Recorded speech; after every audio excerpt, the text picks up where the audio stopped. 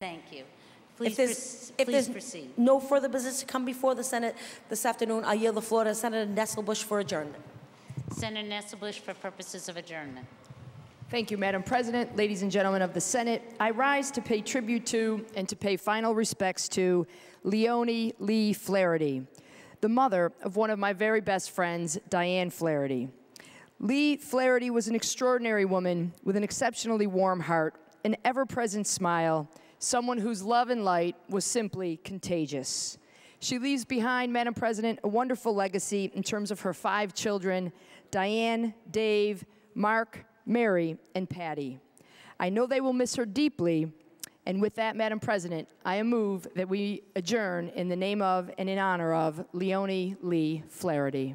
Senator Nesselbush moves that the Senate adjourn in memory of Leonie Lee Flaherty, seconded by Senator Goodwin and Senator Bates and many others. All those in favor, please rise.